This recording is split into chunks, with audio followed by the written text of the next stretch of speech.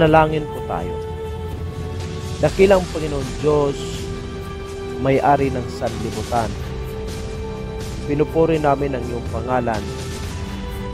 Kami nagpapasalamat sa panalangin at gabay na ibinigay mo sa amin. Salamat sa panibagong araw na ipinagkaloob mo. Salamat din sa pagkakataon na ibinigay mo upang kami ay muling magtipon para sa panibagong kaalaman. Kami po ay humihiling na nawa po ay gabayan mo po kami sa aming pag-aaral at bigyan mo po kami ng makalangit na kaalaman at lakas upang kami ay matuto. At nawa po ang lahat ng aming matutunan ay magamit namin sa pagtulong sa aming kapwa. Patawarin mo po kami sa aming mga kasalanan at nawa po ang lahat ng aming gagawin ay maging alinsunod sa iyong kautusan. Ang lahat ng ito ay aming sinasamo sa ngalan ng aming Panginoong Hesus. Amen.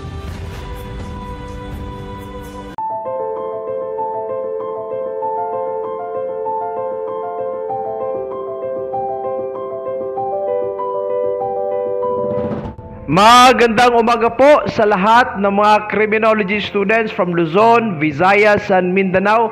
Most especially po sa lahat ng first year cadets. Sa lahat po ng mga freshmen po na nag-enroll sa BS Crim. I tell you po, you are blessed na nasa criminology program po kayo. Kasi po ang criminology, may marami po tayong job opportunities waiting. Ang employment market po natin is wide. Marami pong opportunities na pwede nyo pong pag-applyan pag nag-graduate na po kayo sa criminology program. So again, welcome ha sa mga kadete na mga first year. Sa mga instructors din po, sa mga professors, sa mga review lecturers nationwide, Magandang umaga din po sa inyo. Welcome po sa Biqueno uh, platform po natin. This is our platform for video discussions, mga libre na mga recorded discussions po sa mga subjects sa criminology program. So, if in case nangangailangan kayo ng uh, nangangailangan kayo ng uh, PDF, PowerPoint presentations, Available po yan ha, mga ma'am at saka mga sir. Available po PDF at saka yung PowerPoint presentation na pwede nyo pong magagamit. In exchange po sa very minimal price, you can grab it. You just chat me personally through my Facebook account. Sa description po na ito, may Facebook account po tayo. Uh, yung Facebook uh, page po natin, Big Queno Online ha. Ang Big Queno Online na Facebook page po, ang purpose po niyan is on rationalization plus updates po sa mga events sa criminologist licensure examination pati na yung mga events na, na nangyayari sa sa criminology in general. Also, I'd like to advertise mga first year, okay? Mga first year cadets po, pati na yung nagre-review right now, I'd like to advertise Um, yung Big Quino review materials po natin, available lang po ito 24-7. Sa mga first year po, I have to tell you, compilation po ito sa lahat po ng mga subjects. Compilation po ng mga review materials sa lahat po ng subjects sa criminology. Okay? Naka-arrange na po ito per area. Plus may question and answer portion po. Kasi mga criminology first year, um, I have to inform you na ang board examination po natin is a little bit challenging. So as early as now, first year pa lang, dapat ha, first year pa lang, pinapractice na natin yung sarili natin para sa board exam questions. In a way, ang libro po natin, mga first year, magagamit nyo po yan, starting today po, pag mag-purchase po kayo, up until you will take the board examination or up until you will pass the board examination. So magagamit nyo po yan. Di po kayo magsisi if you will uh, avail po. So again, you just chat me personally ha pag may uh, mga estudyante po tayong mag-avail po. Magagamit nyo yan ha mga kadete, especially yung first year. Sa mga takers naman, of course, nung nag-grab mga kadete po na nag-grab na ng copy, salamat po. Uh, nakatulong po kayo sa uh, initiative po nating tumulong po sa mga dialysis patients po sa Negros Oriental. Anyway, without further ado, Introduction to Criminology. Align na po ito ha sa Table of Specification. Huwag na kayong magtanong kung naka-align ba yan sir sa TOS ng PRC. Nako, lahat po ng ginagawa natin dapat naka-align kasi pag hindi yan naka-align, useless yung useless yung oras na binibigay ko. So, align na po yan sa Table of Specification. Align na po ito sa Table of Specification. Alright? Now, first year students, Tsaka yung nagre-review. Let us find out kung ano ba talaga ang criminology. What is the definition of criminology? Marami po tayong definitions sa word na criminology. Pero, ang pinakasikat po na definition na ginagamit po uh, sa lahat ng mga uh, criminologists uh, worldwide, itong definition from Edwin Sutherland at saka si Donald Cressy. Okay? Edwin Sutherland at saka si Donald Cressy. Ang definition po uh, ng criminology, according to them, ganito po. Study regarding crime as a social phenomenon. Pag-estudyo po sa krimen, yung krimen po, isa po yung pangyayari sa sosyedad po natin. When we say phenomenon, it's an occurrence. It's an event. So, it's a study regarding crime as a social phenomenon. It includes within its scope, kasali po dyan sa scope ng criminology, istudyohan po yung paggawa sa batas, making of the laws, yung pag-break ng mga batas, breaking of the laws, at saka yung reaction towards the breaking of the laws. Yung reaction po ano ba ibig sabihin ng reaction towards the breaking of the law? It's basically the reaction of the community when somebody will break the law. Okay? So, tatlo po ang scope dyan ha. Una, the making of the law, the breaking of the law, the reaction towards the breaking of the law. Estudyohan po natin ang scope later on. Ang tatlong scope dyan, i-align po natin sa divisions. Now, para mas maintindihan, ito ang other definition. Study uh, the body of knowledge regarding crimes, criminals, and the efforts of the society in suppressing and preventing them. Ang criminology na word comes from the Latin word crimen, ibig sabihin accusation. Ha, huwag kalimutan ha, crimen, Latin word yan, ibig sabihin accusation, at saka yung lohia, Greek word po yan, lohia, ibig sabihin study of. Now, ang word na criminology was coined, when we say coined, first year, ibig sabihin, inimbento. Ang gumawa ng word, itong si Rafael Garofalo. Okay? Si Rafael Garofalo, siya po ang nag-imbento sa pangalan na criminologia. Italian po kasi ito eh. Criminologia. Tapos, ang word na criminologia po, ginamit yan for the very first time sa isang tao na French anthropologist. Ang tao na ito, walang iba kundi si Paul Tupinard. Pag magtanong ang board examination, sino ang nag-imbento sa word na criminology? Si Rafael Garofalo, isang Italiano. Pero sino ang gumamit for the very first time sa word na criminology? Walang iba kundi si Paul Tupinard. Okay? Now, ang pinakaimportanteng tanong na pinagdidibatihan sa mga criminologist, ang criminology ba, siyensya ba yan, or arte, or art?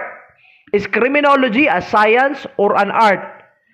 Para maintindihan, tingnan natin ang definition ng science at saka definition ng art.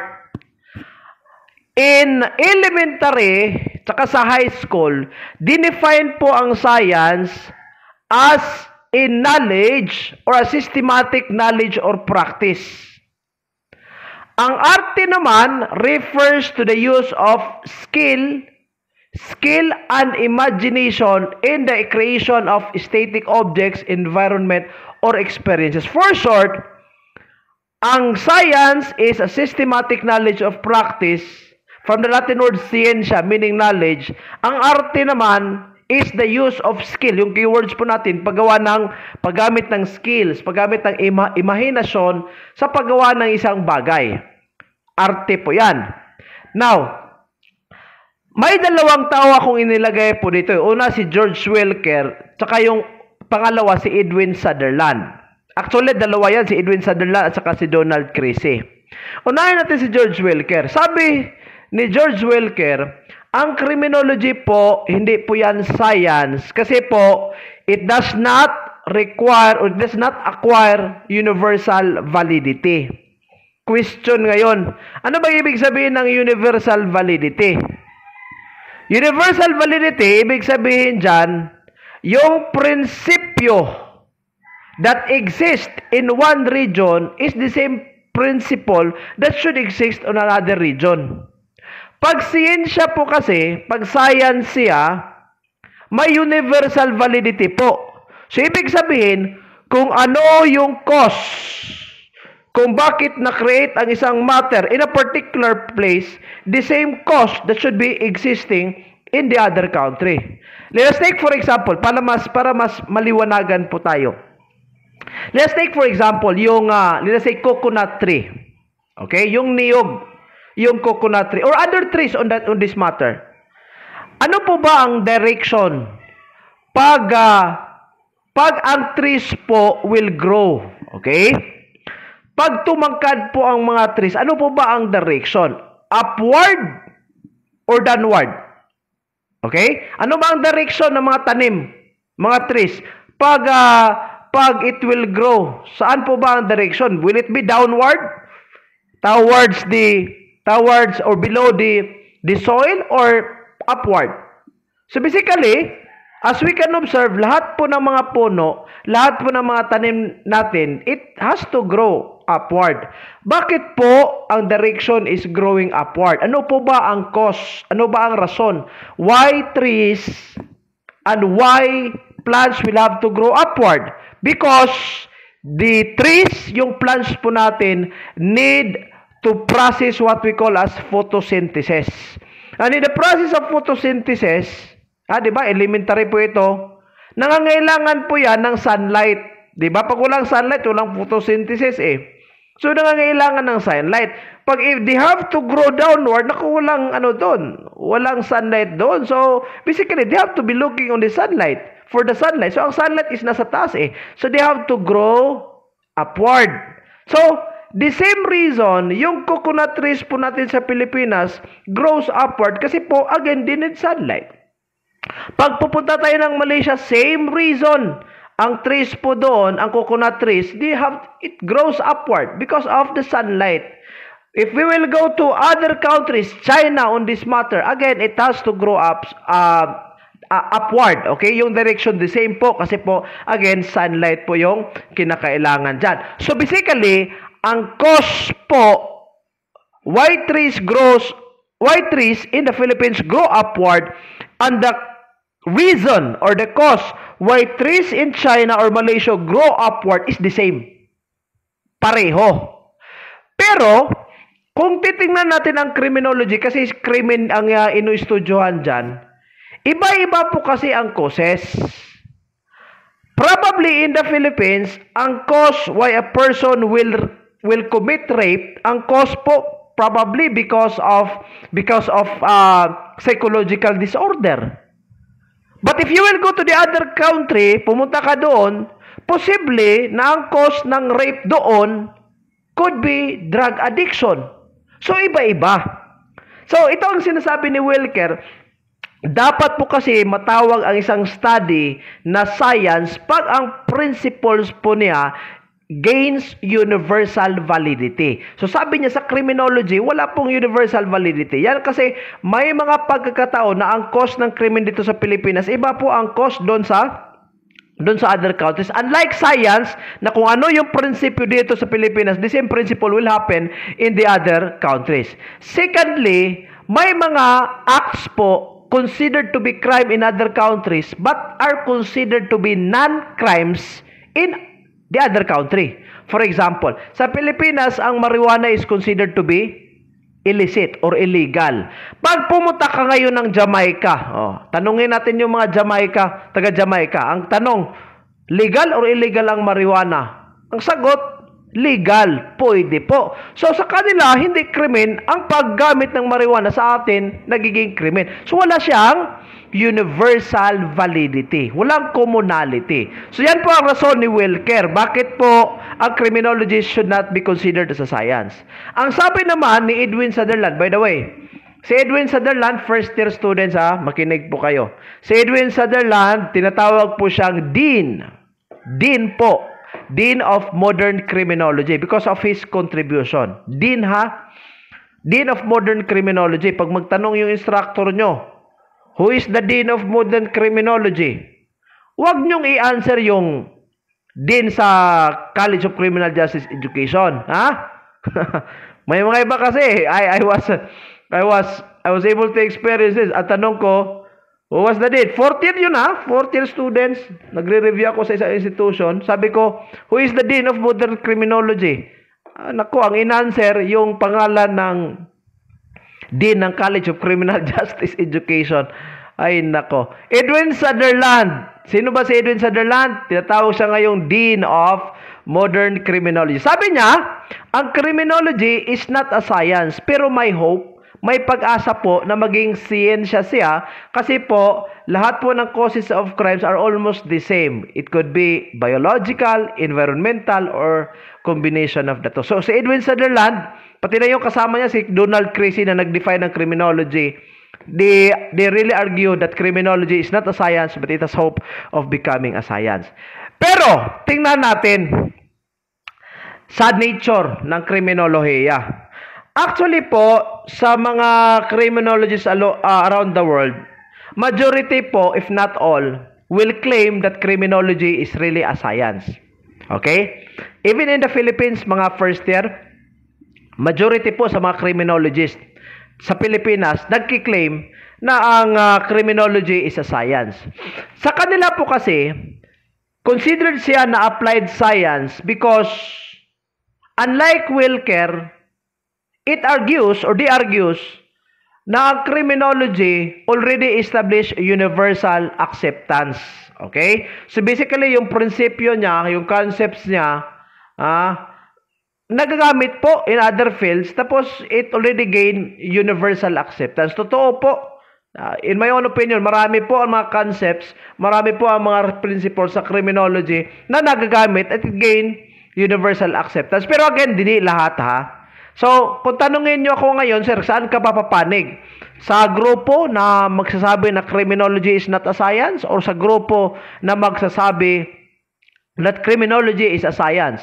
So, sa akin po, ang criminology could be a science and could not be a science. Bakit po? Again, I have to cling na marami pong principles na hindi pa po universally accepted. But uh, again, for the discussion sake ha, for the discussion sake, ayaw ko po kayong lituhin ha. Ayaw ko po kayong i-confuse. So for the discussion's sake, we will stick we will stick on the nature of criminology that criminology is an applied science because some of the principles or most of the principles and concepts are already universally accepted and these principles and concepts are used by other field of studies. Pangalawa, ang criminology is considered as a social science. Bakit po siya social science? From the word social, ibig sabihin community or society.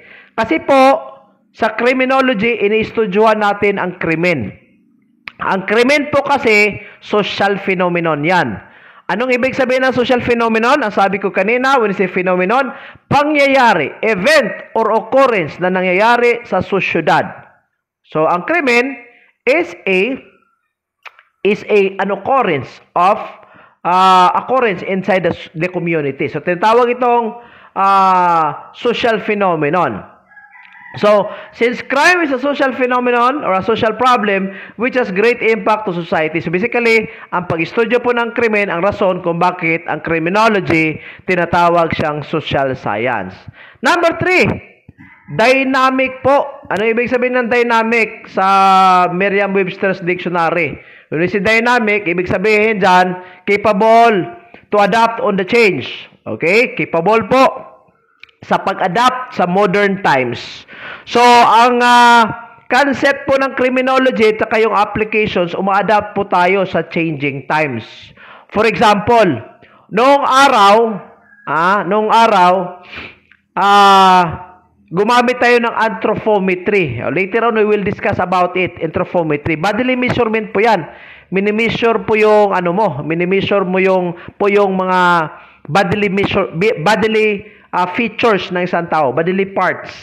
Tapos yun po ang system of identification. Pero sa ngayon, we do not use anthropometry but rather we use fingerprint identification, gumamit tayo ng DNA, gumamit tayo ng uh, eye retinal scan, gumamit tayo ng voice recognition, yun mga uh, parts of uh, ano, forms po yan ng identification. So, criminology basically adapts on the changing times. Okay? We adapt.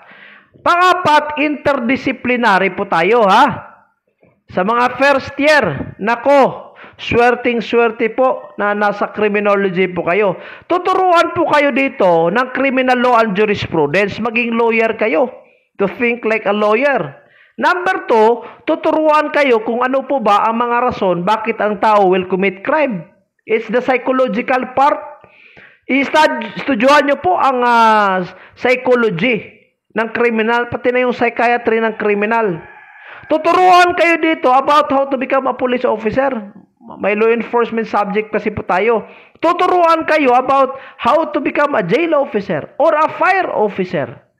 So basically, sa lahat po ng mga kurso sa university and colleges, I tell you, believe me, criminology lang po ang napaka-interdisciplinary parang nagiging jack of all trades na po tayo. Kasi yung scope po natin napaka-wide, ha? Very wide. Criminology lang.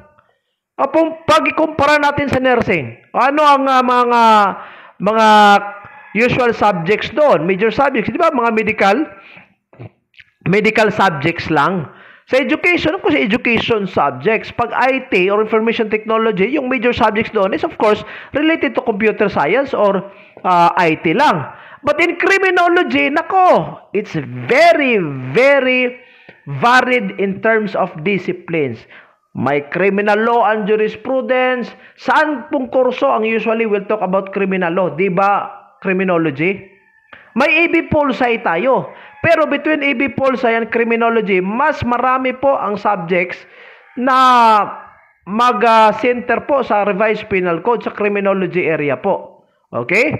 So yan po ang rason ha kung bakit interdisciplinary po tayo. Sunod, nationalistic. Bakit po? Kasi we give consideration sa historia, sa kultura, sa social norms and the laws of the country. So each country has its own set of laws and crimes are defined by the laws of the country. So inistudyohan po natin ang history, kultura, social norms at saka yung mga batas sa uh, sa country po natin. Okay? Yun po ha, ang nature of criminology. Alright. May tatlo po tayong divisions. Okay? Or branches ng criminology. Una, criminal theology. Pangalawa, sociology of laws. Pangatlo, penology or correction. Okay? Balikan natin ang definition ng criminology. Second slide po yon, di ba?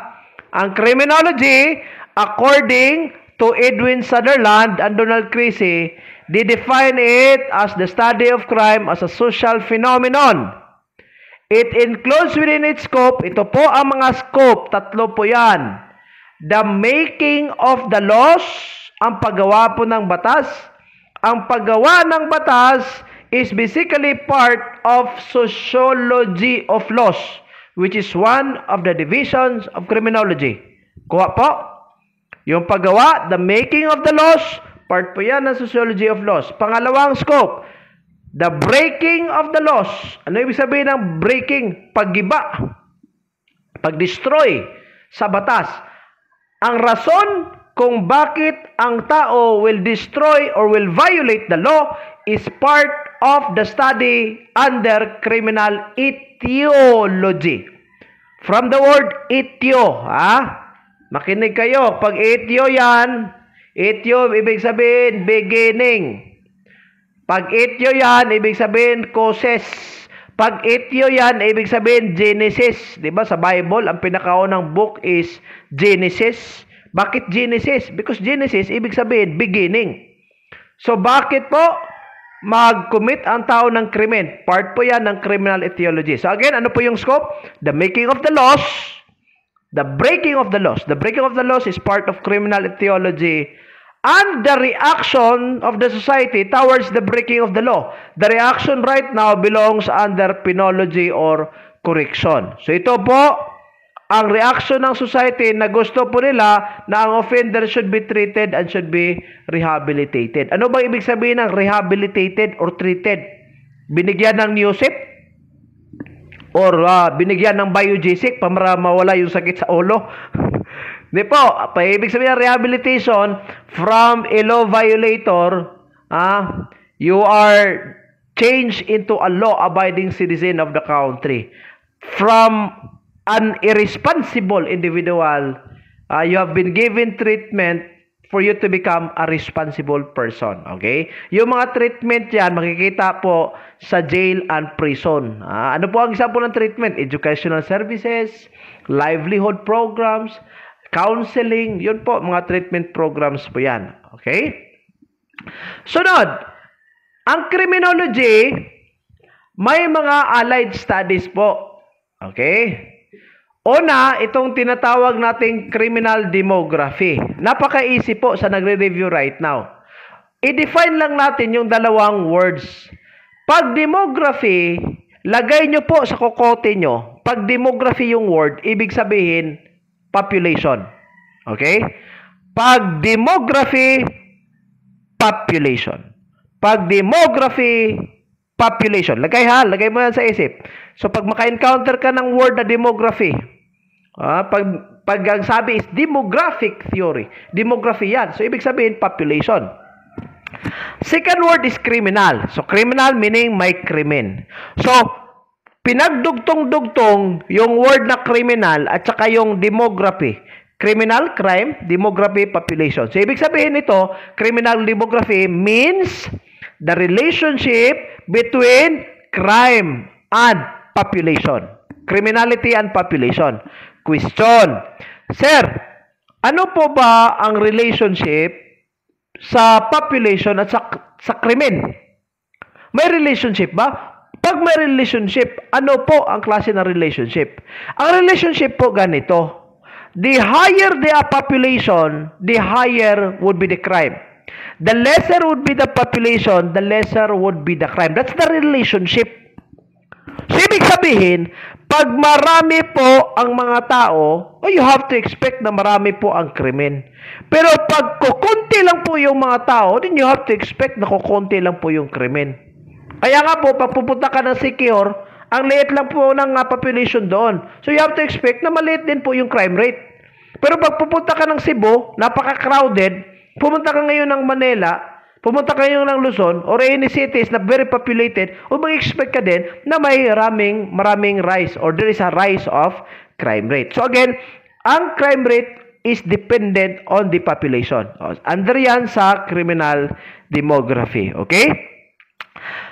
Number two and number three, ito, I would like to clarify this. Kasi po, I'm sorry ha, pero marami po tayong libro. Ah, minikos-mikos yung definition sa dalawa. Ha, may marami din po tayong mga review, review lecturers na medyo, I'm sorry ha, nagkamali po, mga instructors na medyo nagkamali po dito. Kasi po na-interchange yung definition eh. Kasi we, we rely too much on the book ang problema po kasi, if we rely too much on the book, tapos nagka-clerical error doon, tapos ang nag-edit ng book, hindi criminologist, nako. So ito ang problema. Sa mga libro po na marami, I could name a few. Ang definition ng criminal ecology, ito po, special distribution of community. Special distribution of crime in the community. Yun po ang definition ng criminal ecology sa mga libro. Some of the other books. Yung criminal epidemiology naman, dinidefine ng ibang books as the study of crime and environment. So, bali, not interchange po yung definition ng ecology at saka epidemiology. They interchange within each other. Now, I'd like to make a clarification po sa lahat na nagre-review right now. I-check nyo yung ano nyo ha. Pag ang review lecturer, ah minikos-mikos yung ano, yung definition dyan, tanungin nyo. Oh. Ano ba ang basihan dito? Bakit mali po? Kasi, pag sabihin nating ecology, from the word eco, di ba? Kahit saan lupalop ng mundo ka pumunta, kahit pumunta ka pa sa Mars, pag eco yan, environment, di ba? Pag ecology, study of the environment. Am I correct? Eco eh. Eco, ecology, study of the environment. Pag ecology, environment yan. May karugtong na word na criminal. Ah, the criminal is crime. So basically, criminal ecology should be defined as the relationship between criminality and environment. Yun po dapat. Environment at saka yung crime. Ano ba ang relasyon dyan ng environment at saka yung crime? Ah, pag nakatira ka sa environment na mainit, o di ba? Ang pagka mainit, pag taas yung temperature, taas yung ah, ano mo, madali kang magalit. Di ba? Yung taas ang temperature, marami pong krimen yan. Pero pag yung temperature is mababa, eh, mas lesser po yung criminality. Di ba? Marami po ang krimen sa fertile soil compared to hilly, rugged soil. Yung nasa bundok, kukunti po yung mga krimen doon. Bakit po? Ma- Mas lesser po yung population eh. Pero yung sa fertile soil, marami. Basically, popul- uh, environment has something to do with crime. So, I'd like to repeat ha, pag criminal ecology, relationship yan ng environment at saka yung crime. Pag pupunta ka ngayon sa Google, i-search mo epidemiology. Epidemiology distribution po 'yan. Sa ano po, sa health definition, pag epidemiology, distribution of diseases. Pero dito po sa criminology, kasi dinugtungan ng word na criminal, nagiging criminal epidemiology, special distribution po yan ng krimen sa community. Question, ano ba ang ibig sabihin ng word na special? S-P-A-T-I-A-L. From the word special, ibig sabihin, spaces. Ha, espasyo. Ano po ba ang distribution ng krimen sa lahat po ng, o sa mga espasyo? For short, ang criminal epidemiology, dyan, po, dyan mo po makikita yung tinatawag nating ah, crime hotspots. Kasi po, ang distribution ng krimen, hindi po yan pareho. For example, pwedeng mas maraming rape sa barangay 1, pero mas less yung rape sa barangay 2. Pwedeng sa barangay 2, mas marami ang drug addicts compared to barangay 3 na mas marami yung tinatawag nating reckless imprudence resulting to homicide. So, iba-iba po yung special distribution. Ang pag-estudyo po sa special distribution of crime in the community is part of criminal epidemiology. Again, sa mga magti-take po ng board examination na nagre-review right now, please Tanungin nyo po yung instructor, review, ah, review lecturer po, pag nagkamali po dito. Ah, i-argue nyo po. Ah, kasi bawal po ang magkamali. Next, criminal anthropology. Ang criminal anthropology naman, when we say anthropology, ibig sabihin constitution of man. So, criminal anthropology is the relationship between crime and physical constitution of men. Ibig sabihin, when we say physical constitution, ano ba ang appearance ng tao? Tao. Appearance ng tao in relation to crime. O dito, na-inspire si yung papa nyo po, si Cesar Lambroso. Dito nagsimula ang atavism na pag ugly ka, nagiging criminal ka na. So, estudyohan natin later on yung atavism. But anyway, criminal anthropology, crime and appearance of crime and physical constitution of man. Okay? So, I hope klaro ha. Klaro po yan mga estudyante. Okay. Sige po. Sunod. Another allied study is criminal psychology. Ano ba ang criminal psychology from the word psychology? Ibig sabihin, behavior po. So, dinugtungan ng word na criminal, uh, we have the definition now, the study of the relationship between the behavior of the person in relation to criminality. Pag criminal psychiatry naman, ibig sabihin dyan, yung mga disorder, mental disorder or behavioral disorder in relation to crime. At saka yung pinakalas, itong tinatawag natin victimology, which is the relationship between the victim and the offender. Or pangalawang definition yan, the role of the victim in his own victimization or the role of the victim in crime commission. So, may contribution ba ang biktima sa kanyang pagkabiktima? The answer is yes.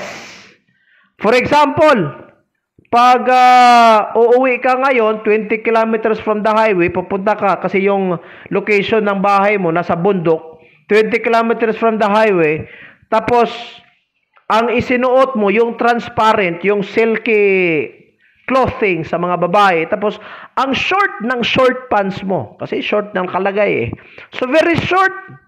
Tapos, nag-travel ka ngayon, sumakay ka ngayon ng angkas, sa Negros Oriental, we call it as habal-habal, ah, alas 12 ng gabi, midnight, ano ang contribution mo pag na-rape ka?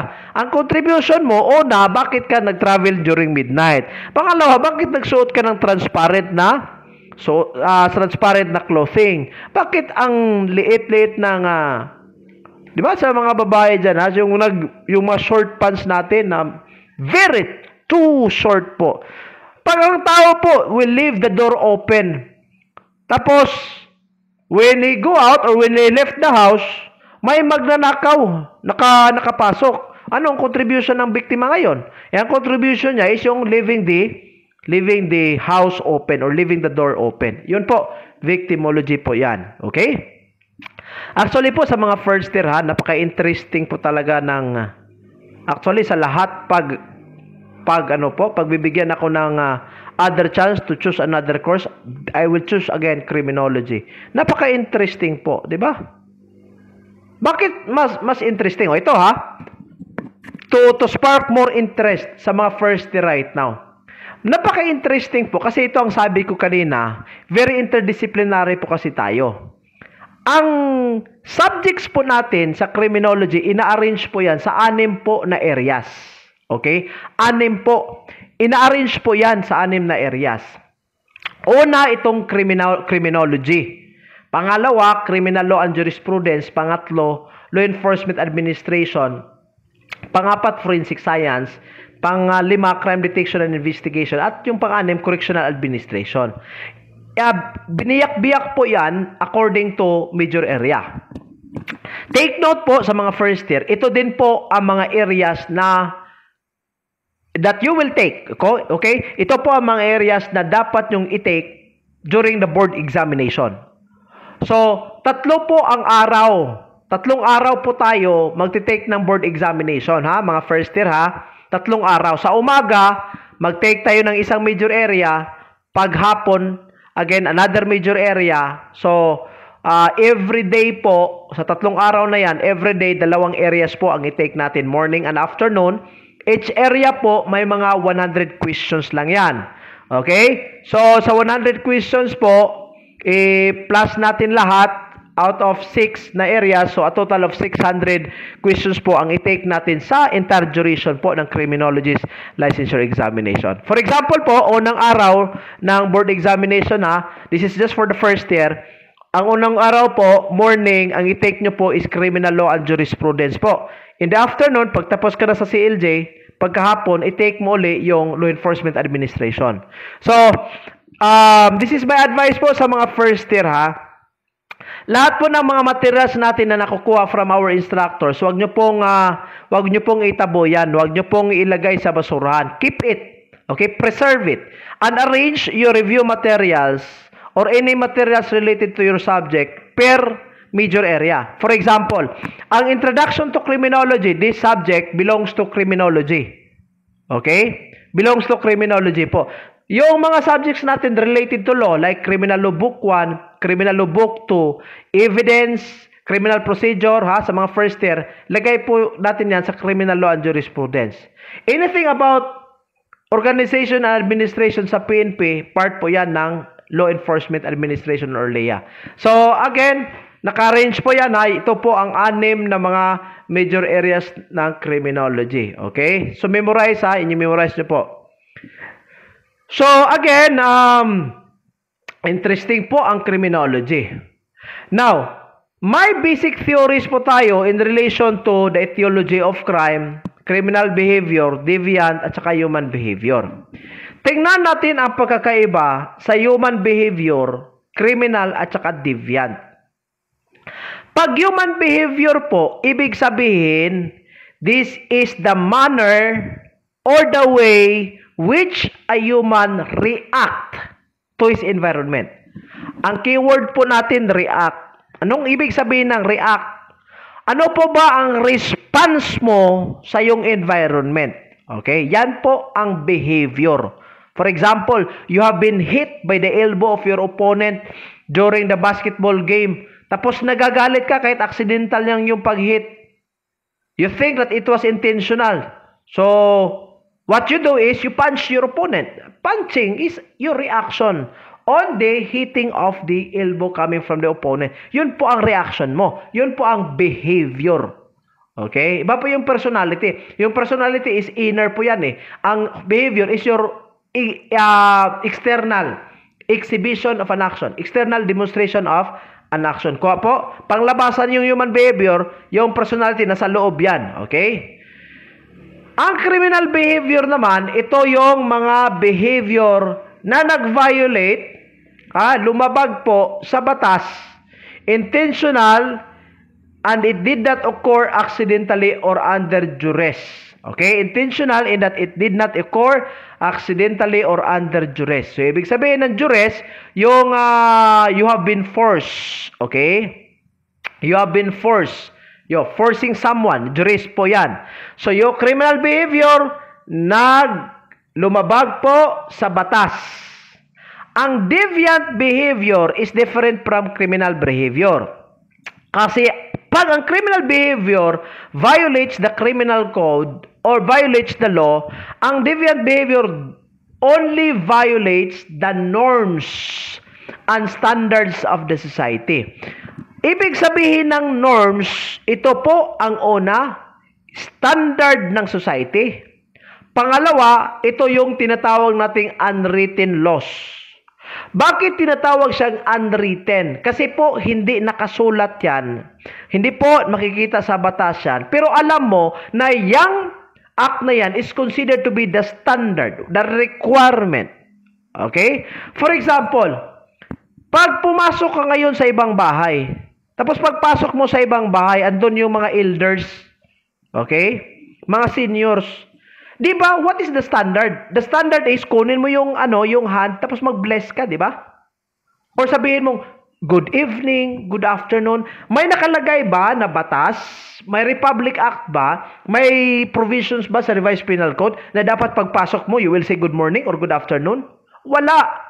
Pero alam mo na standard of procedure yan. Na the moment you get inside, wala kayo ibang magawa, dapat you have to pay respect kasi po yan po ang norms, yan po ang standard, unwritten law. Kasi wala nakalagay sa Republic Act pero standard po yan. Yan ang tinatawag nating norms. Another example para mas maintindihan sa mga first year ha.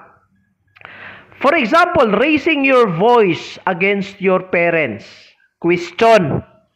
May batas ba na nakalagay na ilagay ka doon sa presuhan if you will raise your voice against your parents. Di ba? Maraming mga bata ngayon. Gen Z. Nako, hindi, kaya, hindi ako believe sa generation nyo, ha? Sa mga Gen Z dyan, hindi ako believe sa generation nyo. Ha? Di ba? Yung mga high school, di ba? When we were still in, you knew, when you were still in high school, nako, as I observe, konting uh, punishment lang sa school. Nagre-report agad sa social media, nag, nag-rant agad sa social media kulang sa disiplina. Nung araw, panahon namin sa elementary, nako, laki ng stick. Ihampas yung dos por dos sa'yo pag ano ka, pag nagmalinggiring ka. Pero sa inyo, nako, ah, ultimong project, nagrarant kayo sa social media. I'm sorry ha, sa mga Gen Z. Ayun po ang reality ngayon eh. So, may batas ba na nagsasabi that if you will raise your voice against your parent, you will be put into prison? Wala. Pero alam mo, that raising your voice against your parents is considered to be not good or considered to be bad. Why? Because the standard is you have to respect. You have to be you have to be um you have to pay respect to your parents. Kasi po, yan po mga magulang nyo yan eh. Pero walang batas. Pero alam mo na yan po ang standard. Okay? So, uh, speaking in a respectful manner to your parents is basically considered as norms. Okay? So, violation po ng norms, ano ang tawag? Deviant behavior. Violation po ng batas, ano ang tawag? Criminal behavior. For short, all criminal behaviors are deviant behaviors. Bakit po? All criminal what I what, what do I mean by all criminal behaviors are deviant behaviors? Kasi po pag ang tao is pumatay, 'di ba? May may batas tayo diyan. Pag pumatay tayo, it's a criminal behavior. At the same time, standard din po sa atin na di tayo pumatay dapat. So pag pumatay ka, it's also a deviant behavior kasi violation din po yan ng norms. Sir, sabi mo kanina unwritten laws eh. Bakit may written laws na ngayon? Kasi po kahit walang unri, wala kahit walang written laws po. For example, sa mga tribo ha, sa mga tribes kahit walang uh, walang uh, written laws yan, alam nila na ang pagpatay po is considered to be bad. For example, during the time of Cain and Abel, yung mahilig sa Bible diyan, 'di ba si Cain and Abel, anak po ni Adam and Eve, yung sinaunang tao po sa Bible under Genesis. Pinatay ni Abel ngayon si uh, pinatay ni, ni Cain ngayon si Abel, yung younger brother niya. May nakalagay ba sa batas?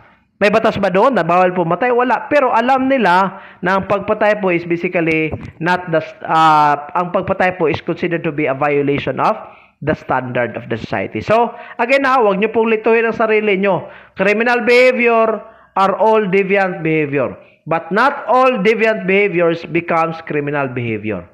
Okay? Bakit po hindi lahat ng deviant behavior becomes criminal behavior? Kasi po, ang mga deviant behavior that only violates the unwritten laws may not violate may not violate the written laws or the criminal code. Okay? I hope naintindihan ha. Next, Schools of Thought, ito ang foundation sa criminology. Dapat alam nyo to ha, mga first year. Pag makalimot kayo, balikan nyo uli ang discussion na to ha. Schools of Thought. May marami pong hindi pa nakaintindi sa mga takers ha, ganito ha. Ano ba ibig sabihin ng school? Ibig sabihin ng school, grupo. Grupo ha, pag school office, nag-iisa ba? Hindi, marami yan. Pag school, grupo, asosasyon, organisasyon. Ano ibig sabihin ng TOTH? Ibig sabihin, idea or konsepto or opinion. So, school of thought. Ah, pinagdugtong-dugtong yung school, tsaka of, tsaka thought. Ibig sabihin, isa pong grupo, ha, isa pong organisasyon na may parehong line of thinking. May parehong opinion. May parehong idea. Okay? So, tatlo po yan ha. Actually, tatlo ang basic, pero marami ang school of thought na nag-exist in our contemporary world. Pero tatlo yung basic. I'd like to concentrate on that on the three. Una, classical. Pangalawa, neoclassical. Pangatlo, positivist or Italian school. Unahin natin itong classical school. Ito po ang mga five basic principles ng classical school. Una, it lays stress on the crime and not on the criminal. Ano ibig sabihin dito? Binigyan ng importansya ang krimen rather than the criminal. Mas inuunang tinitingnan yung krimen kaysa ni inuunang tingnan yung criminal. Kuha niya po, mas importante yung krimen kaysa criminal. Okay? Pangalawa, ang punishment is retributive and punitive. Ibig sabihin ng retributive, revenge. Okay? Binigyan ka ng punishment kasi gumawa ka ng bad. Okay? Punitive, ibig sabihin, i-punish ka talaga, standardize and proportion to the gravity and nature of the offense. So ito po ang maganda ha. Sa classical school po kasi, dapat standardize yung punishment. At the same time, naka-proportionate po siya kung ano yung nature ng offense. Okay? Kasi nung araw po, may mga offense po na hindi po proportionate yung punishment. Di ba? During the time of our Lord God Almighty Jesus Christ, di ba? Ano po ba yung, ano, di ba hindi pa siya, hindi siya nakapag-commit ng, ng ano, ng krimen? But he was crucified. In the Bible, in Acts, di ba si Stephen, binato? Noong araw po kasi, uh, yung mga religious laws po natin, napakagrabe po. Kung konti lang yung kasalanan mo, babatuhin ka. Diba? Ah, i- hindi po na na-equate. Sa England nung araw, if you are an old frail woman, you will be accused of witchcraft. Pag witchcraft pa, you will be hanged or you will be burned to death. Di ba? Hindi proportionate yung punishment kumpara sa krimen being created. So sabi dito na classical school, dapat proportionate po yan. Pero again, it lays stress first on the crime and not on the criminal. Thirdly, it assumes that every individual is rational and has free will and knows the law. O, dalawa lang po ang emphasis dito. Una, rational ang tao. Pangalawa, may free will. Ano ibig sabihin ng rational? Ibig sabihin ng rationality, yung kapasidad ng isang tao sa pagpili ng isang decision based on reason. Okay? When you say, um, selecting a decision based on reason, that means gumagawa ka, nagpe-perform ka ng action kasi may rason ka na nakikita na gawin mo yan. For example, di ba nung nag-graduate kayo ng senior high, may marami po tayong choices na pagpipilian na kurso. Pero, pumili ka ngayon sa criminology. Bakit po? Kasi you weigh your options, you weigh your reasons. 'Di ba? Nagra-rationalize ka. Bakit ka nasa criminology? Bakit hindi mo pinili ang HRM? Bakit hindi mo pinili ang agriculture or IT or CBA or other courses on that matter? Pero mas pinili mo ang criminology kasi may rason ka. Gusto mo maging Cardo Dalisay para magtambling-tambling ka ngayon pag naging police officer ka. 'Di ba? Or you wanted to become the most handsome guy inside the community pag naging police officer ka na. So basically, may rason. Ang ating capacity to reason, to act based on reasons, we call it as rationality.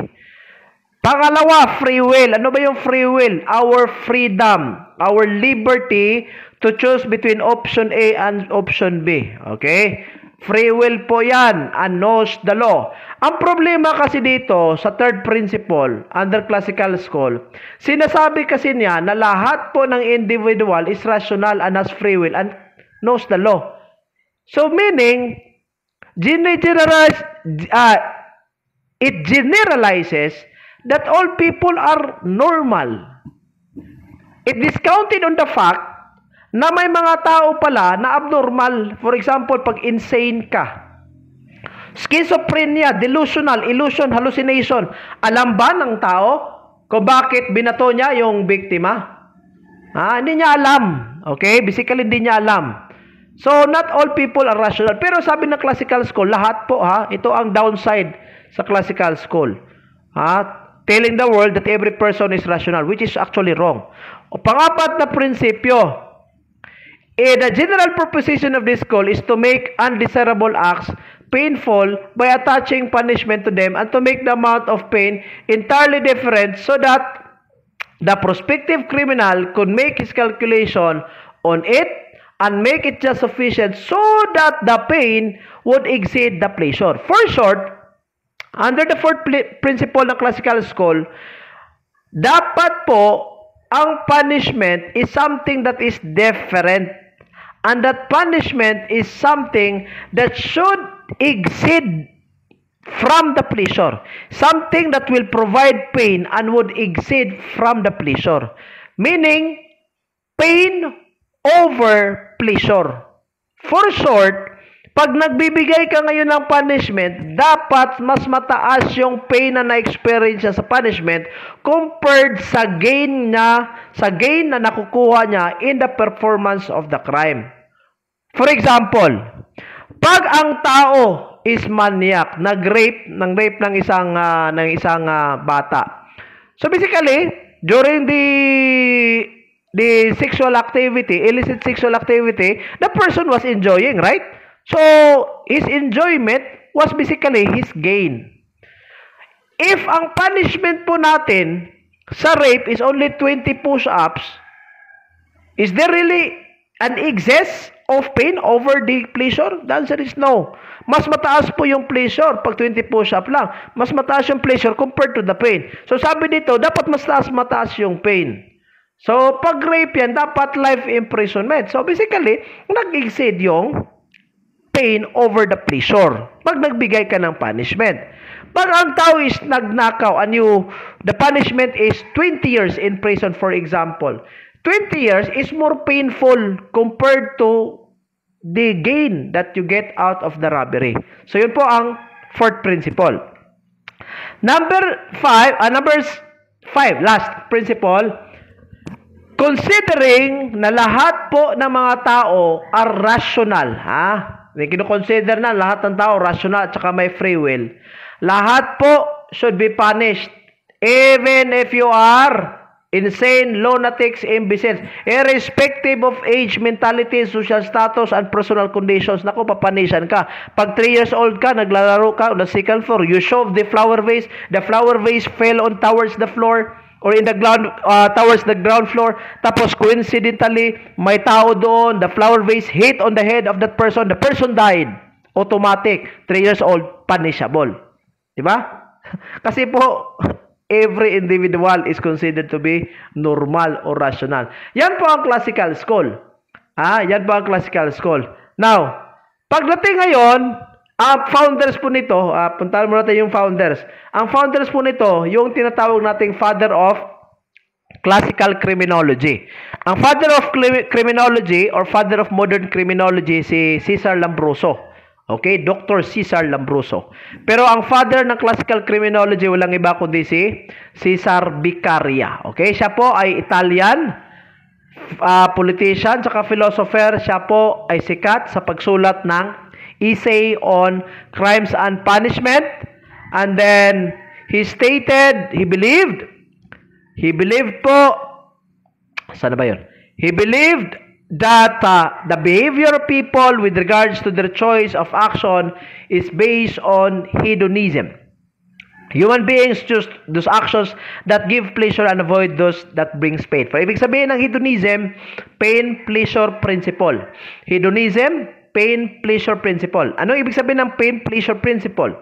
Ibig sabihin, pag tao po normal, gumagawa po tayo, nag-engage po tayo sa mga actions na nakapagbigay ligaya po sa atin at saka iniiwasan natin yung mga bagay na magbigay sakit sa damdamin, di ba? Parang parang parang ano lang, parang love, di ba?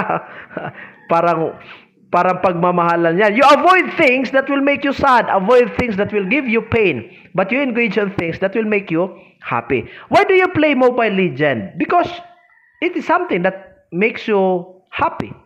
Right? Something that will give pleasure to you. Why do you not study? Sa mga first year ha, mag-study kayo ha. Pero bakit may mga pagkakataon na hindi kayo mag-study? Kasi po, pag nagbabasa mo kasi sir, one page pa lang, ha? One page pa lang sir, sumasakit na yung ulo ko, uminom na ako ng biogesic. 'Di ba? So, you avoid things may mga bagay that we avoid kasi hedonism, hedonistic po tayo eh. Okay? Yan po si Sarbicaria ha. Pangalawang founder, itong si Jeremy Bentham. Okay? Si Jeremy Bentham, siya po ang uh, nag-propose sa isang uh, design po ng jail. Disenyo ng jail, ito po ha, just imagine. Jail po siya at the middle, andon po yung tower. Sa tower po, andon yung, andon yung mga jail guards tapos, surrounding the tower, yung mga cells. Cells containing inmates or prisoners. So, yung tower, essentially, will provide a wider vision kung ano po ang nangyayari sa cells. Kasi surrounding the tower are cells containing prisoners. Ang tawag po niya doon is panopticon. Ha? Uh, panopticon. P-A-N-O. P, panop, T-I-C-A-N, panopticon, ah, C-A-N, C-O-N para, pala, C-O-N, panopticon, okay? Siya din po ang na gumawa po ng uh, uh, teorya on utilitarianism. Si San Lambroso, hedonism, sa kanya, it, uh, utilitarianism. Ibig sabihin ng utilitarianism, greatest happiness for the greatest number. Greatest happiness for the greatest number. Ha? Pinakamalaking ka- ka- kasiyahan, kaligayahan para sa karamihan.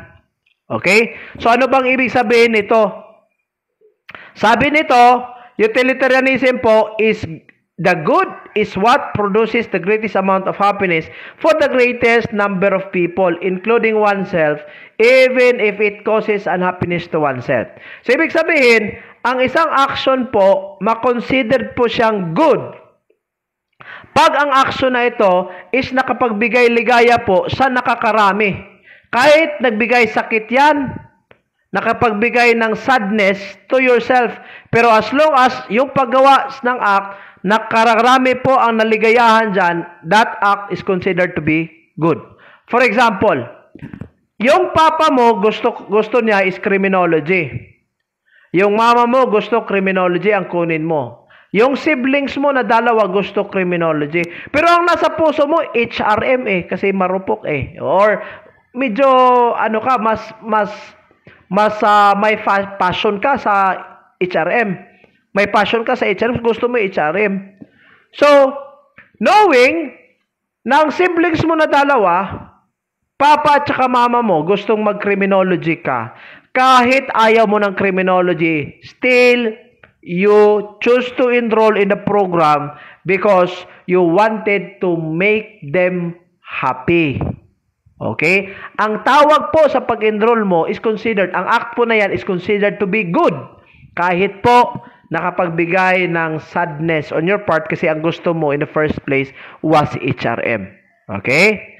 So, pag ang ginawa ng isang tao, ah, instead of choosing criminology, nagrebelde siya ngayon, kinuha niya HRM, kahit, kahit nagagalit yung siblings sa kayong mga magulang niya, kahit hindi siya suportado, oy, that is considered to be morally bad. So, morally bad po yung mo yung uh, ano, yung pag uh, yung action mo kasi po kailangan pong you need to please the greatest number of people. Utilitarianism, okay?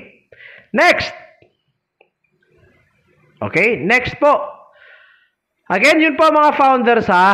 Yun po ang founders mga kadete ha. Classical School. Sino ang sino ang founders? Jeremy Bentham, naggumawa ng utilitarianism at yung panopticon. At saka si Sir Vicaria nagsulat ng Essay on Crimes at saka yung konsepto niya sa hedonism.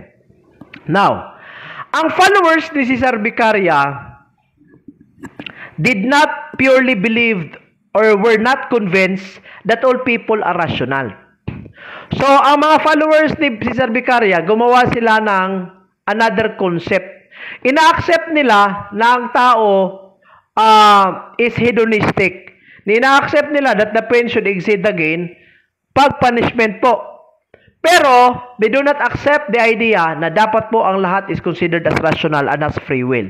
Kasi ang sabi po ng mga founders ng neoclassical school, hindi po lahat ng tao rational. Totoo naman po. Hindi po lahat ng tao may free will. Kasi pag bata ka, wala kang free will eh. Hindi mo alam ang ginagawa mo. Pag lunatics po ang tao, pag imbecile, pag feeble-minded, pag insane, pag schizophrenia, delusional, hallucination, ito mga sakit yan eh. You do not know what you are doing. So you cannot rationalize. You do not have the free choice of doing it. Therefore, you should be exempted from punishment. Yan po ang konsepto ng neo-classical school. Ang pinakalast po na eskwelahan, itong kay, itong positivist or Italian school. Bakit siya tinatawag na positivist? Tinatawag siyang positivist kasi mas lenient yung, yung concept niya. Positivist, lenient yung concept. Pangalawa po, dito, pinofocus po ang criminal, hindi po ang krimen. Di ba sabi ko kanina, pag classical school, ano ang pinofocus? Pinofocus yung krimen. Ha? Hindi yung criminal. Pero dito, it's the other way around. Ang pinofocus niya is yung criminal, ang nature ng tao compared to the crime. Okay? So it gives importance to the criminal. Pangalawang konsepto niya, ang sabi dito, ang tao po na guilty or criminal is considered to be a sick person who needs to be treated in a hospital. Ano ba ang ibig sabihin ng sickness? Ang sickness po na tinutukoy dito is not fever, is not cancer, di po yan tuberculosis. Ang sickness po dito refers to the criminal behavior of the person. So pag may criminal behavior ka, sickness yan. Madali kang magalit, putong in Cebuano, quick to quick to anger. That's a sickness. That's a criminal behavior. Okay? Yung sickness is a criminal behavior. Secondly, ano bang ibig sabihin ng hospital? Pag tao nagkasakit, pina-hospital daw. Ang criminal, sick daw yan. Kailangan i-hospital. Ang hospital po, tin- anto, ang, ang ano po dyan, ang uh, tinutukoy po niyan is yung jail po or yung prison. O doon ka ilagay. Kasi you will undergo treatment. Again, ano bang treatment? Lagi, uh, injectionan ka? Hindi. Ang treatment po, pag criminal behavior mo, yung sickness mo, irresponsable, o pag doon ka, doon ka na sa hospital, sa jail, tuturuan ka maging responsable. Ha? Tuturuan ka about livelihood programs. Yun po ang treatment na tinutukoy dyan. Paglabas mo, ah, di ba? You have been treated already. So, naging responsable ka na. Pero pagpasok mo sa prison at saka sa jail, irresponsable ka. Paglabas mo ngayon sa community, papunta sa community, irresponsable ka pa rin. Nako, ang sickness po hindi nawala. Ha? So, basically, hindi ka na-treat. So, dapat you have to be treated. So, remember ha, sa positivist school, uh, it gives importance on the criminal. Ang konsepto na ito, hindi po ito present sa classical school eh.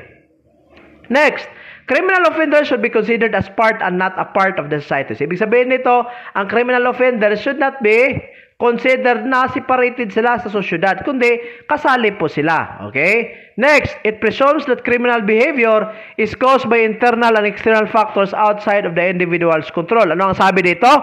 Na ang criminal behavior po Ah, nangyayari po yan kasi may internal factor at saka external. Ano ang internal factor? Yung nasa loob ng tao. For example, quick to anger ka, seloso ka, madali kang magalit. Ito po, mga internal factor yan na pwedeng hindi mo makontrol. Okay? These factors cannot be controlled. For example, pag may jowa ka ngayon, pag may girlfriend ka, nakita mo yung girlfriend mo cuddling with somebody, huwag mong sabihin that you will just say, Sir, okay lang kasi love is kind. Di ba? Huwag mo sabihin, love is kind, sir eh. Pag married kayo, tapos naaktuhan mo yung legal wife mo having sexual intercourse with somebody, do not tell me that you will just say, ah, it's okay, sir, because love is blind. Ah, Di po. Ang normal na response dyan, magsisilos ka, magagalit ka. Yung paggalit mo, yung mga jealousy mo, hindi mo yan makontrol. You cannot control it. So, yan po ang rason that you might commit crime. Internal factor po yan. Ano ang external factor na tinutukoy dito? Ito po yung mga surrounding circumstances. For example, poverty, lack of education, you live in a squatter area, you are surrounded by gamblers, surrounded by drug addicts. So ito yung mga factors. Ah, walang employment opportunities. 'Di ba? Pag ang tao pobre, gutom na gutom, walang makakain. So nagnakaw ngayon. 'Di ba? During the Yolanda typhoon, gutom na gutom yung mga tao. So what they did was to do looting. Nilulut nila ngayon yung mga supermarkets, yung nasa mall. So it's basically robbery, robbing the mall with commodities. Pero bakit nagawa nila? Because again, wala eh. Gutom na gutom eh. I mean, poverty is also an external factor again, guys. Alright? Sunod. Ang problema lang dito, itong downside ah, sa positivist school. It argues that most serious crimes were committed by individuals who were primitive or atavistic, that is, who failed to evolve to a fully human and civilized state. Ito ang downside. Kasi po ang atavism, dito makikita sa positivist call. Ang sabi po dito ah, na ang mga taong nag-commit ng mga seryoso na mga krimen, ito po yung mga taong atavistic. We will discuss atavism later on. Mga primitive ba? Ah, primitive. Ano yung ibig sabihin ng primitive? Yung mga sinaunang tao, di ba? May homo sapiens, homo habilis tayo. Hindi nakapag-folded, develop into a civilized state So these persons are the ones who are considered to be criminals. Intindihin natin ang activism later on. So again, positivist school po yan. Bakit tinatawag ang Italian school ang positivist school? Kasi po, ang mga founders dito, itong tinatawag nating holy. In Bisaya, balaan. Banal in Tagalog. Holy tree, tatlo. Mga banal na tatlo. Sino ba ang banal na tatlo? Una, ang ama ninyo, ha, mga criminology, oh, I am introducing you right now, your father. ang ama nag ang ama sa criminology. Walang iba kundi si Dr. Cesar Lambroso, ha? Si Dr. Cesar Lambroso, siya po ang uh, doktor po 'yan. Yan po ang ama ninyo ha, mga first year. Oh.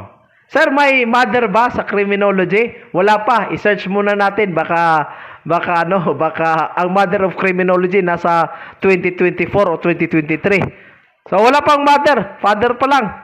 Ha? San Labroso ha, Italian criminologist and a physician. Siya po ang pangunahing founder sa Italian Positivist School. Okay?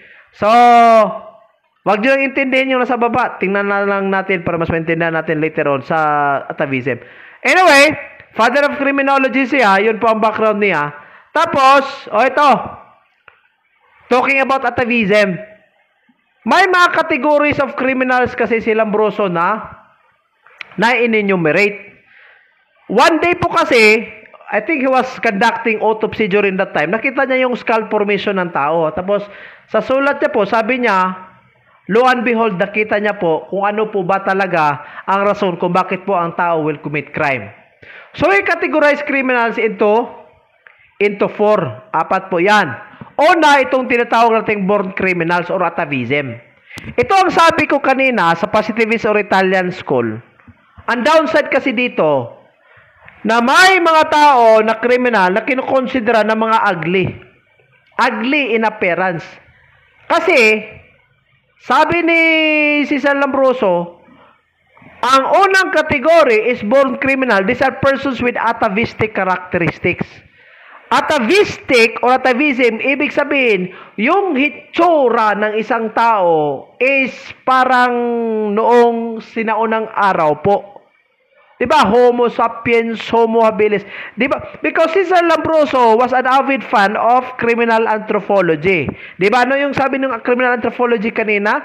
These are, this is the relationship between the physical appearance or physical constitution of men and crimen. So, si Sir Labroso, kasi avid fan siya sa criminal anthropology, bumalik tanaw siya ngayon na ang tao na pag-ugly, considered siya as born criminal, atavistic. Ano ba ang mga atavistic characteristics? Oh, sabi dito ha, number one, sa theory of prime position, na-discuss ko ito eh. Number one, flat nose. Di ba? Tumingin kayo sa salamin. Di ba? Pag uh, titingnan nyo yung ano, kasama nyo dyan, na nagre-review right now. Flat nose, black complexion, flat jaw, narrow backbone, sunken eyes, curly hair. Basically, these are characteristics of an ugly person. So, pag may ganyan ka na mga atavistic characteristics, sabi ni Sir Lambroso, oy, born criminal ka. O, di ba? Yan po ang uh, yan po ang downside sa ano eh, positivist Italian school. Pangalawang kategory niya, yung insane criminals.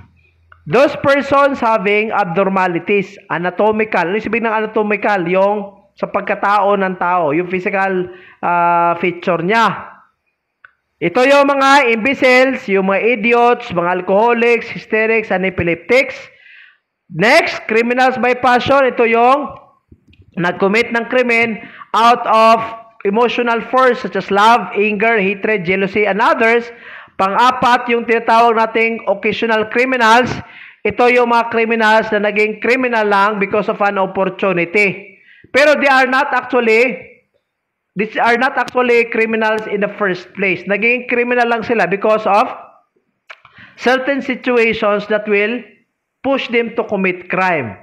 And secondly, ang mga occasional criminals po, may mga characteristics po sila na pwedeng magagamit in the commission of the crime or that will trigger them to become criminal. For example, yung madali kang magalit, you are not a you are not an insane criminal or a born criminal but you can be considered as an occasional criminal.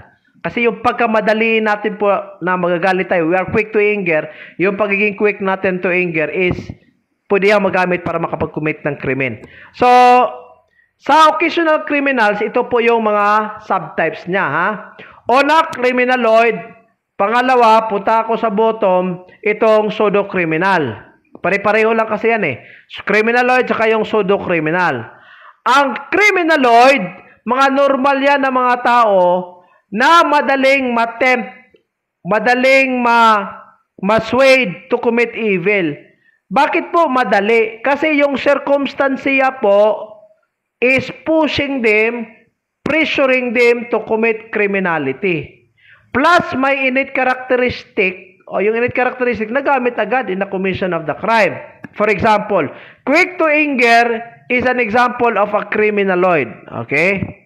So, again ha, criminaloid is an occasional criminal yan ha. So, criminaloid, madali kang magalit. You have been hit by the elbow of your opponent during the playing of the basketball. Tapos galit ka kaagad. Kasi quick to anger ka eh. Di ba may mga classmates tayo na pag nagjo-joke, okay lang sa kanila pag uh, nagjo-joke sila sa kaklase. Pero pag sila yung subjected to joke, yung kaklase naman nila, ang bumanat, nagbigay ng joke against the person, no, nagagalit. Di ba? Criminaloid yan eh. Pangalawa, yung pseudo criminal. Pulo pareho lang yan. Pero ito sa pseudo criminal, You do not perform the crime just because you want it. You do not perform the crime just just because you want it. Hindi po ka hindi ka nagpe-perform kasi gusto mo. Nagpe-perform ka kasi gusto mong i-protect something coming from you or you protect somebody. For example, self-defense. Ayaw mo pero you commit crime because again to defend yourself or probably defend your relatives or defend your neighbor. Okay? So, yan po ang pagkakaiba sa criminal law at yung pseudo-criminal. On the other hand, itong epileptoid naman, ito yung may, may sakit na epilepsy or neurological disorder at saka yung habitual criminal, ito yung mga taong normal lang yung uh, pag uh, pamumuhay pero surrounded sila sa mga undesirable habits such as gambling, drugs, na pwede po magiging criminal sila in the future. Okay? So, yon po. Pangalawang estudyante, ah, pangalawang founder po, kasi tatlo ito eh, Holy Three. Una si Cesar Lambroso, pangalawa si Enrico Ferri, pangatlo si Rafael Garofalo. Okay, tatlo po sila ha, mga banal na tatlo. Estudyante po ni Cesar Lambroso, si Enrico Ferre, tsaka si Rafael Garofalo, di ba? Kung matatandaan nyo po, si Rafael Garofalo, yun po ang nag-coin sa word na criminolohiya or criminology. Ang kay Enrico Ferre naman, he is not sold out on atavism, but rather ang nakita niya po is yung economic at saka yung social factors that may cause crime. Economic at saka yung sociological factors. Tapos ang sabi niya, para maprotektaran po ang society or community from criminality, dapat po may criminal law and penal policy. So siya po ang nag-influence bakit po mayroon tayong revised penal code. Okay? Pangal pangalawang estudyante ni Cesar Lambroso, itong si Rafael Garofalo, sabi niya, Teacher, Cesar Lambroso, I do not agree with you. It's not about physical anomalies. But rather, it's about the moral anomalies or moral inferiorities that may cause a person to commit crime. Okay? So according to this theory, natural crimes are found in all human societies regardless of the views of lawmakers and no society can disregard that. Okay? So yon po ha. No uh, moral anomalies po ang sa kanya. Next! Other person, hindi po siya kasali, pero he is known today as the father of sociology. Kasi uh, hindi po krimen yung uh, ano niya, uh, pinofocus niya, but it's more on studying sociology. Kaya siya po ang nag-coin sa word na sociology. Tinatawag po siyang father of sociology and uh, he developed the philosophy called positivism. Okay? Siya po nag-develop sa philosophy or sa concept ng positivism. Pero ang positivist school was founded by Cesar Lambroso Enrico Ferre and Rafael Garofalo. So, ang positivist school is more on criminality. Sa kanya, sociological perspective po. Okay? Next. Other proponents of positivist or Italian school. Okay? Mga mga ibang researchers din po ito na medyo pulo pareha sa uh, concept ng uh, positivist school. Okay? Or Italian school. Mga proponents din po sila. Number one, itong si William Sheldon. Okay? Si William Sheldon, psychologist siya, at saka yung nomistamist. Okay? He created the field of somatotyping. Ano ang somatotyping?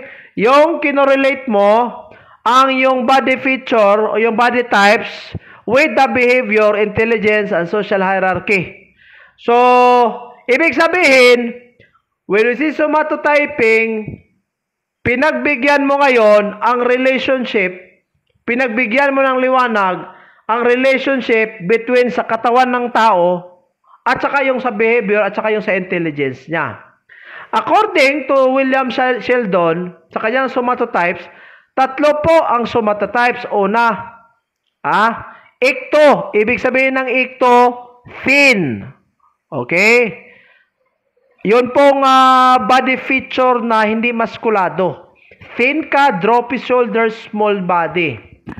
Pag, ibig sabihin ng ecto, payat. Okay. I think that's the correct word. Payat po, ectomorph. Pag endomorph naman, ito po yung opposite ng ecto. O ano bang opposite ng payat? Eh, mataba. Okay? Endomorph, mataba yan. Mesomorph, ito yung mga maskulado. Ang sabi ngayon ni William Sheldon, na pag ang tao po ay isang miso, ang kanyang temperament po, kasi temperament, uh, your behavior, the manner you express your personality externally. Yung temperament niya is somotonic. Pag payat ka naman, cerebrotonic. Pag mataba ka, bisorotonic. So, pag ang tao is an ectomorph, payat, ang characteristics niya po, as cerebrotonic, ganito po. Yung po mga taong full of complaints. Di ba?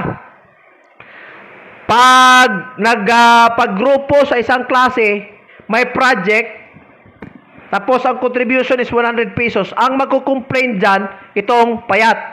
Insomniac, ano yung sabihin insomniac? Ha? Hindi madaling makatulog. Ah, mas suffering from uh, suffering from uh, sleep disorder. Chronic fatigue and sensitive skin, Tsaka nervous, madaling uh, mga nervyoso na tao, mga self-conscious, at saka mga introvert. Ano ibig sabihin ng introvert? Mga loner ba? Ito yung mga taong hindi pumupunta ng bar. Hindi sila lumalabas. Gusto nila, they will just stay at home. Introvert eh. Ito yung mga taong hindi social, uh, socializers. Pero ito, in opposite, itong bisorotonic, itong mga mataba. Kung introvert yung cerebrotonic, or introvert yung mga payat, itong mga mataba, mga extrovert yan. They love to go camping, they go to swimming, they go to the beach, they go, they roam around, they socialize. Mga relax na mga tao, walang pakialam sa buhay, mga jolly, mga komportable, hilig, mga materialistic, eh, luxurious, mga matataba, mga luxurious yan. Pero, mga tapulan in Cebuano, Ha? Kayo mga Tagalog, gamitin nyo yung word ha, tapulan. Tapulan ka eh. sa Bisaya. Ano ibig sabihin ng mga tapulan? Mga tamad. Ha? Gusto nila, okay lang. Very jolly. Pag nasa boarding house yan, yung payat hindi gusto, nakalat yung mga materials. Ha? Hindi gusto ang kalat. Pero itong endomorph, walang pakialam sa buhay. Ha? Okay lang, jolly, lazy at the same time. Mesomorph, mga maskulado, ito yung active, assertive, aggressive. Ito po yung mga taong prone to commit criminal activity rather than ito tsaka yung indo. O ito po yung ano ha, ito po yung figure. O, makikita nyo yung slender, payat, yung nasa gitna, at the middle, uh, yung maskulado, yung nasa, uh, ano po, right side, yun po ang mataba. Okay? Now, ang Theory ng somatotyping by William Sheldon is similar with the types of physics by Kretschmer. Okay? Ang kay William Sheldon is correlating intelligence, behavior by with the body of the person. Pero itong kay Kretschmer, he correlated yung body physics, the size of the body of the person with the possible crime that the person will commit. Okay? So sa kanya, apat Kay somatotyping, tatlo. O sa kanya, picnic. Yung picnic po, ito po yung endomorph, di ba? Pataba. Pag mataba ka, according to Kretschmer, ang possible crime, possible crime na makumit mo, yung fraud and deception.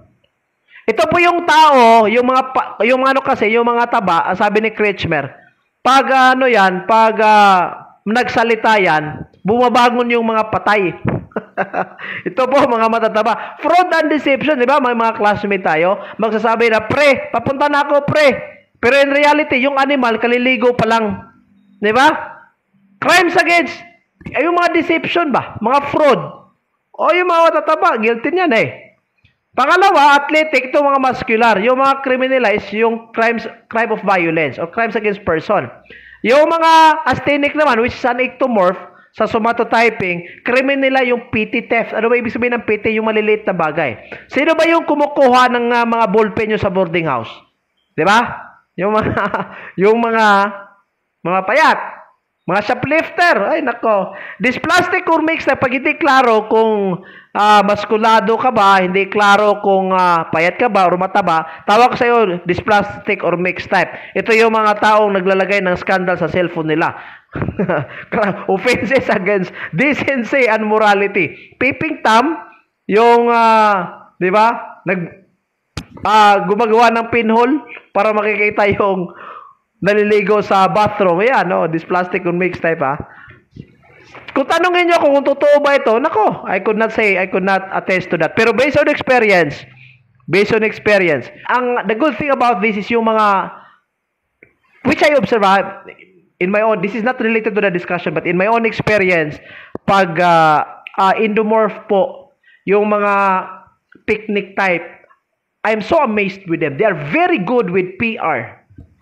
I'd rather trust a person who was very poor in PR, yung mga payat, kasi mapagkatiwalaan po ang mga ang mga ectomorph. Based on experience ha, but I am not trying to say na dapat i-mantra nyo ito.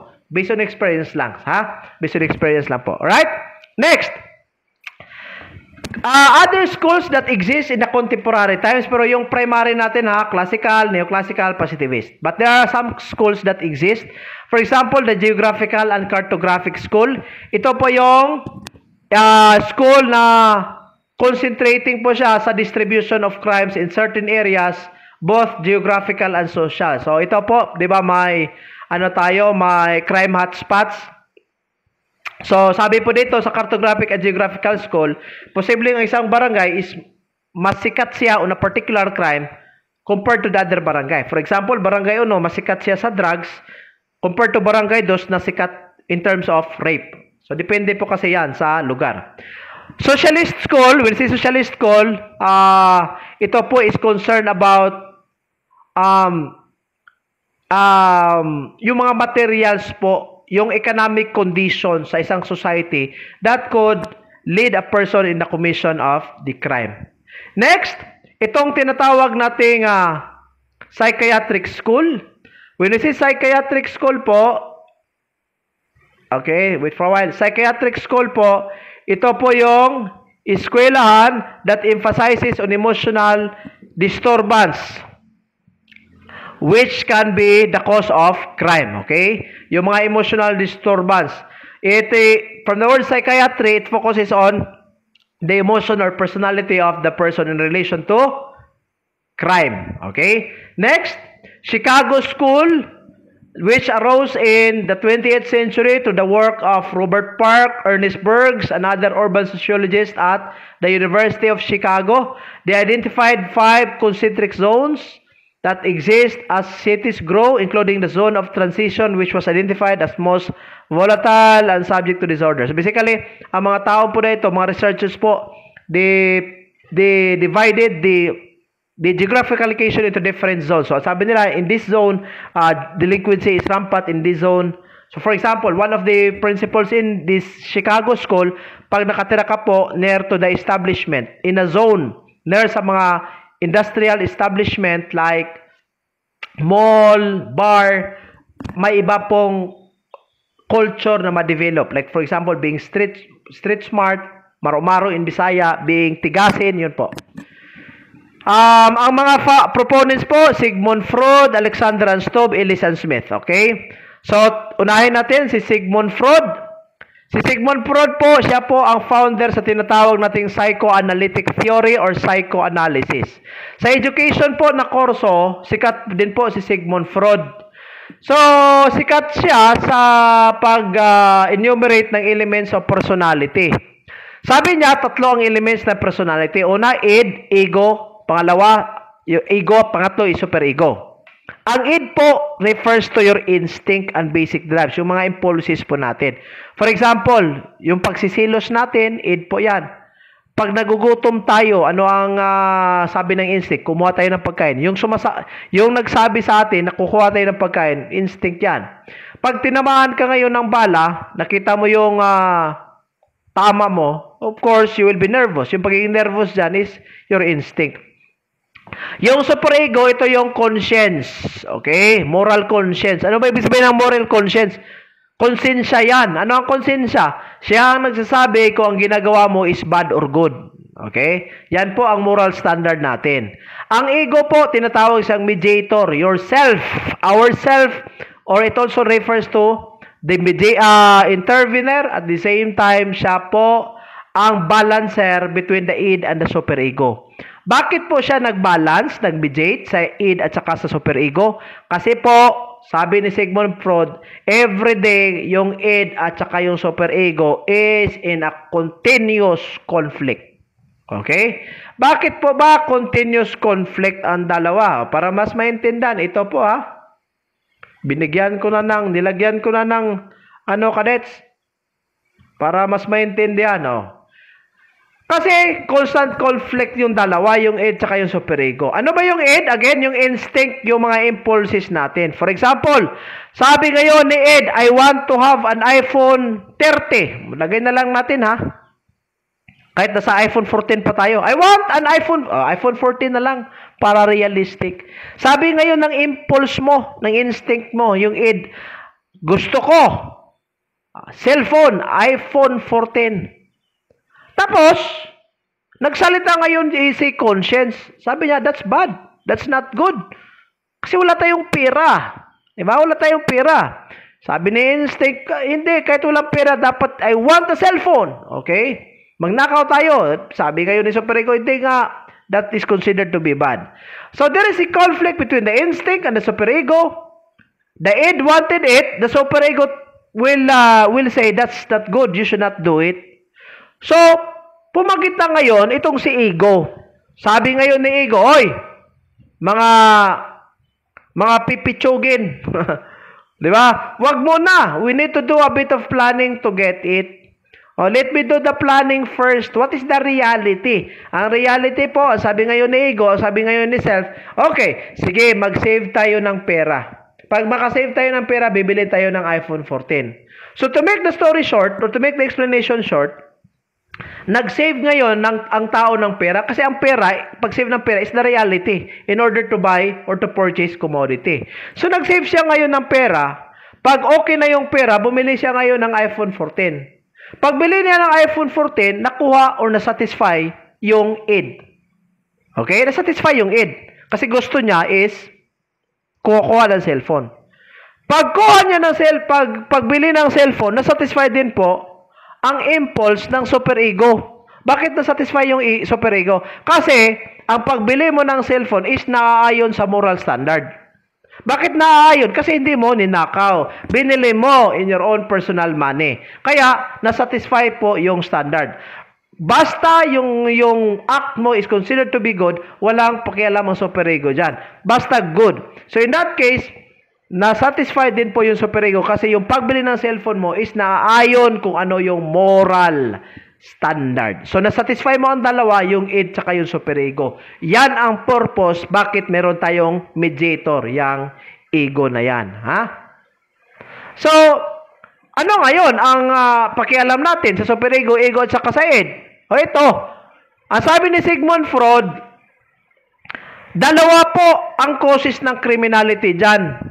Una, pag weak superego. Pangalawa, overbearing yung superego. Kasi ang sabi ni Sigmund Freud, dapat po balanse ang tatlo. Ah, the same po ang level ng voices na, decibel ng voices, dapat pareho po. Pero pag may imbalance, overbearing yung superego, nasobraan, di ba? Pag nasobraan tayo, ano ang uh, mangyayari? Di ba nag-brooding po tayo? For example, di ba, uh, there are certain people For example, nagsalita sila, they give a feedback, sabihan nila yung kasama nila na hindi bagay sa iyo yung t-shirt. Pagkalipas ng isang araw, yung tao will keep on brooding, sabihin niya sa sarili, baka nak- nakapagbigay pain ako sa kanya, baka I humiliate him. So I have to text him, sabihin ko, sorry ha, I told you na yung t-shirt mo is hindi bagay sa'yo, kasi po ganito, ganyan. But in reality, yung recipient ng ano, criticism was just okay with it. It was just a trivial conversation. Nagigilty ka kahit hindi naman talaga dapat. Yun po. Ha? Overbearing superego. Ha? Nangyayari yan pag too much yung discipline sa bahay po natin, di ba? Nasobraan. So kahit kahit uh, tsakto, uh, okay yung ginawa mo, yung mali lang yung bina yung mali lang ang nakikita ng ibang tao. So nagiging mataas yung superego mo. Pero uh, pero uh, tumaas yung superego mo. So let's let's first uh, continue the discussion. So pag mataas yung superego, gusto mo yung sarili mo mapunish according to Sigmund Freud. So you have to commit crime. Okay? So sa mga ganitong explanation, I am not fully convinced na pag ang super ego mataas, mag-commit siya ng crime. Pero uh, ito talaga ang explanation ni Sigmund Freud na mataas yung super ego, mag-commit ka ng crime because nafe-feel guilty ka. And in order to remove the guilt, dapat mapunish ka. So you commit a crime. But I do not agree with it. Pero for the sake of discussion, yan po ang emphasis. Now, I believe na sa pangalawa, itong weak superego, dito mo occur ang crime. So sabi ni Sigmund Freud ngayon, pag weak yung superego, magkukumit siya siya ngayon ng crime kasi the, the person will succumb easily to the impulses or yung instinct and the person will look for immediate gratification. Sabi ngayon ni Ed, kukuha tayo ng iPhone 14, magnakaw tayo. Sabi ngayon ni superego, wag, that's bad. But yung voice ng superego is very small. Na-overwhelm siya ngayon sa id or sa instinct. Ano ang mangyari? The peer person will look for the satisfaction an immediate satisfaction of his impulse. So magnakaw siya ngayon kasi gusto niya ang gusto niya ang iPhone 14. Okay? Para bang I want this and I want it now. Okay? Pag sa nangyayari ito during childhood. Pag ang bata, sabi niya, gusto niya, I want a bike. Nakuha yung bike, binigyan. Pag high school, I want a motorcycle. Binigyan ng motorcycle. Pag college, I want a Toyota Vios. Binigyan ng Toyota Vios kasi kahit, kahit pobre-pobre. Pagdating ng panahon, gusto niyang mag, mag, magnobya. Ah, I want a girlfriend. Pero, torpe. Tapos, pag-propose, nag-decline yung girl. O, sa ano mangyari? I-rape niya yung girl kasi gusto niya immediate gratification. Gusto niya pang madalian talaga yung pag-satisfy ng impulses. Okay? So, yun po ha, psycho, psychoanalytic theory po yan ha, by Sigmund Freud. And lastly ha, Alexander Anstob, ito po, believe that family is crucial to a healthy personality structure. Why? The family is the cradle of personality. Diyan po, ninonurture yung personality po natin. And lastly, Ellis and Smith Noted that female offenders display aggressive behavior during immediate premenstrual periods. Totoo po yan. Yung mga babae po before menstruation, madaling ma-irritate yan. Mga They got easily irritated. They got easily angry. Why? Because nag-fluctuate po kasi yung muscles nila because of the menstruation process. So, that is why they tend to display aggressive behavior during premenstrual period. I'd like to stop mga kadets ha. I'd like to stop muna para we can relax and then we move to the next episode later. So, marami po ang nagsubay uh, marami po ang nagsubaybay sa platform po natin. And I'd like to say maraming salamat po sa bawat uh, hindi po pag-skip ng ads ninyo, nakatulong po kayo sa akin at the same time nakatulong din po kayo sa mga dialysis patients po dito sa Negros Oriental. Okay? Hindi po importante ang pera sa mundong ito mga kadete ha. After all, Even if you become a billionaire, a millionaire, or even if you only become, or even if you only is satisfied with your poor or satisfactory economic status, lahat po mamamatay. lahat po tayo will be will be judged in accordance to our deeds uh, in this world. So as much as possible, ang pag-ipunan po natin is yung righteousness po natin para po sa taas, ang pag-inunapunan po natin is yung property po natin sa heaven, hindi po yung mga material, mga properties po natin dito sa mundo. God bless everyone and uh, happy morning po, happy afternoon or happy evening po kung anong oras man kayo nag nag uh, nagvo-view ng video po na ito. Maraming salamat. God bless everyone.